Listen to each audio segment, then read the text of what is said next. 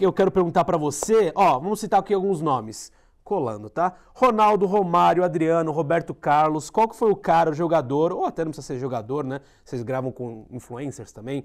Que você mais curtiu, que você era fã. Você falou, caralho, eu tô do lado de um cara que, porra, jogou pela seleção. E qual é o cara que você sonha muito em gravar e ainda não chegou o momento? Caralho, sabia que essa resposta eu sempre falava Diego Ribas. Aí falaram, mas Bira, você já falou com o Diego Ribas.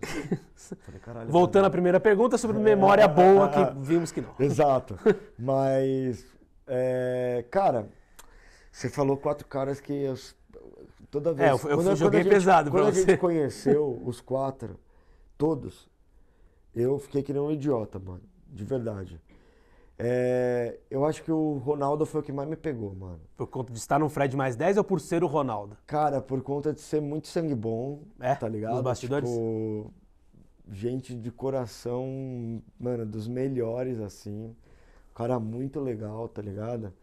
E conheci ele, inclusive, na Liberta, Sim. que eu fui e o Santos perdeu. Fiz um evento com ele do Santander e ele...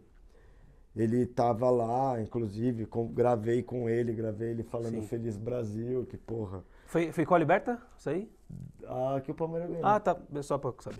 Eu, eu não me arrisco a 20, 21 ou 22, que pra mim é tudo mesmo. Libertadores 2020, em 21 foi disputada a final. É isso, é que foi disputado em 21. Aí, mano, porra, o Ronaldo foi foda, velho. Porque é isso, troca ideia. Isso, é, mano, dá risada com o cara pra caralho.